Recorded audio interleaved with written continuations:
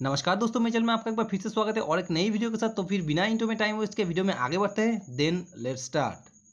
so friends ये video मैं इसलिए बना रहा हूँ क्योंकि मेरे एक व्यूअर ने मेरे एक वीडियो पे कमेंट करके मुझसे पूछा है कि मास 830 एल मल्टीमीटर में जो R twenty three R twenty four और R twenty six resistance use किया है, उसकी वैल्यू क्या है? और उसी कमेंट की रिप्लाई देने के लिए मैंने सोचा क्यों ना इसके ऊपर एक वीडियो बना दिया जाए, ताकि इस वीडियो की मदद से किसी और का भी हेल्प हो जाए। तो चलिए वीडियो को स्टार्ट करते हैं और वीडियो में आगे बढ़ते हैं। सो मास 830 एल इस मल्टीमीटर में R twenty three R twenty four और आर ट्वेंटी सिक्स ये तीनों की तीनों एस एम डी रेजिस्टेंस है और आर ट्वेंटी सिक्स में जो रेजिस्टेंस यूज़ किया गया है, उसकी वैल्यू है टू ट्वेंटी किलो ओम्स तो चलिए सबसे पहले इसका एक बार वैल्यू चेक कर लेते हैं मल्टीमीटर से।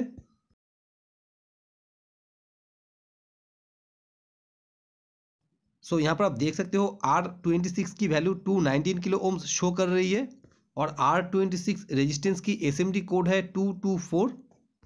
और आप आर ट्वेंटी थ्री रेजिस्टेंस की वैल्यू चेक करेंगे और इसकी भी वैल्यू है टू ट्वेंटी किलो ओम्स तो चलिए एक बार इसकी भी वैल्यू चेक कर लेते हैं।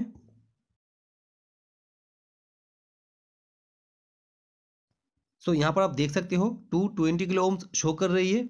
और इस रेजिस्टेंस के भी एस एम डी कोड है टू टू फोर और अब आर ट्वेंटी फोर की बारी और इस रेजिस्टेंस की वैल्यू है टेन ओम्स तो चलिए एक बार इसको भी चेक कर लेते हैं। और इस रेजिस्टेंस की वैल्यू को चेक करने के लिए हम मल्टीमीटर को बाज़ार रेंज पे सेट कर लेंगे, क्योंकि इस रेंज पे ही हमें इस रेजिस्टेंस की वैल्यू शो कर देगी।